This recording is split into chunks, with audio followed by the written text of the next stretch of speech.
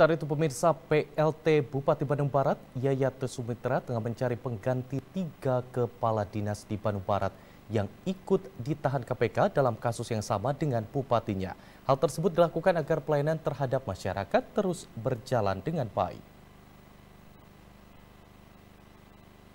Setelah menjadi PLT Bandung Barat, Yayate Sumitra tengah mengusulkan kepada Gubernur Jabar termasuk Kemendagri terkait kekosongan tiga kepala SKPD yang ikut terjerat dalam kasus OTT KPK.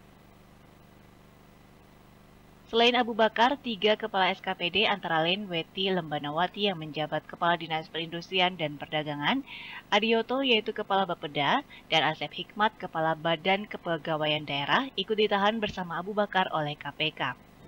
Saya sudah sudah me, apa, menginstruksikan salah satu dari Bandung Barat ke Depdagri konsultasi. Kira-kira langkah-langkah yang yang mulai eh, langkah administratif dah sampai dengan langkah langkah teknis eh, apa ya pengisian pengisian tiga jabatan ya yang yang Akhir pekan lalu, secara maraton KPK telah menggeledah sejumlah tempat termasuk kantor Pemkap, kediaman Abu Bakar, dan kediaman tiga kepala SKPD.